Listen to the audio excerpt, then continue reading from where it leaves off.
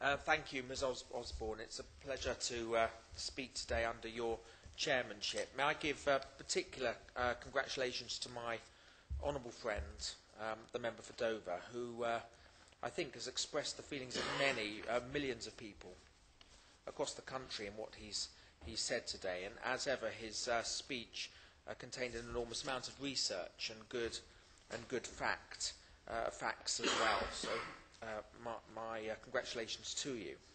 Um, I'm only going to speak for a minute or so, um, uh, Madam Deputy Speaker, because uh, I know there are other members who want to speak. And I just want to talk about two things. Firstly, regarding a father in my constituency uh, of Harlow called Mr. Colin Riches, whose children have been denied access to him. And it's a tragic case, which is why I believe the law must change. And second, as um, the, my honourable friend for Brigg and Goole has said, I'm campaigning on behalf of the Grandparents Association, who actually have their headquarters um, in my constituency as well. And what uh, we are asking for is for children to have the legal right to letterbox access to their grandparents. Very simply, the right to send and receive cards at uh, birthdays and Christmas. Now, I've worked with um, Mr. Colin Riches to table an e-petition, number 23102. And his case is something I have raised many times in Parliament with the Leader of the House and others. The essential crux of his e-petition is that shared parenting, and I quote, should become a natural position in the United Kingdom. It is in the best interest of the child. The law should be there to protect children's relationships with both parents. It needs to show children that both their parents are treated with equality so that children who have been cared for by both parents and grandparents do not suffer the pain of a living bereavement. Now, I welcome that the government are looking into this, uh, most recently through the Family Justice Review, as mentioned by my honourable friend. And this review was a ratchet in the right direction because it accepted that more should be done to allow children to have a voice in proceedings. But whilst I welcome some of the uh, contents, it does not go nearly far enough to help a family such as Colin Riches. Now, I've had a very positive letter from um, the Minister by chance that arrived today regarding my constituent, Mr Riches, and in this letter, um, you, you, uh, the, the Minister mentions um, that uh, uh, the review stops short of recommending a change in the law because of the risk that a change could both encourage litigation and could compromise the key principle of the Children Act 1989.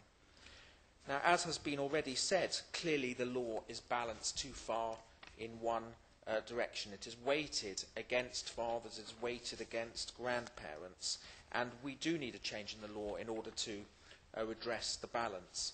I am grateful to the Minister for Children and Families, nevertheless, for his sympathetic response to my letter.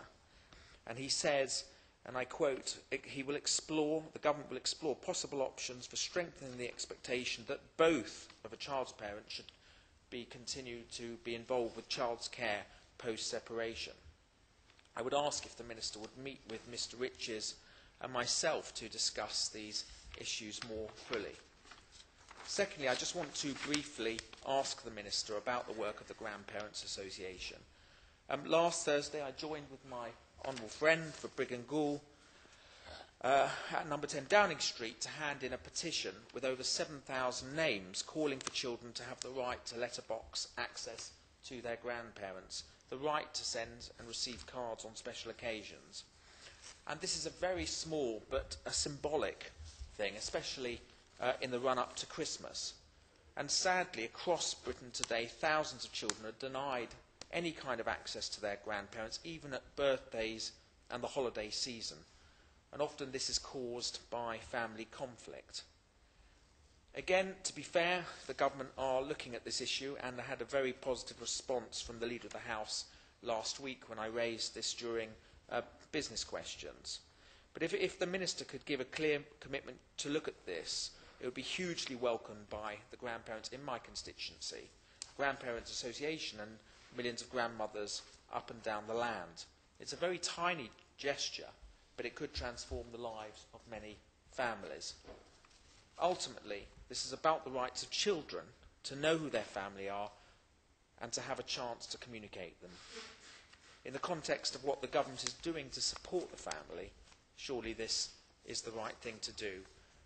And both the issues I've, raised fit very much in what uh, we said as an opposition party. So I very much hope that we will be able to do something in the months and years ahead. Eh,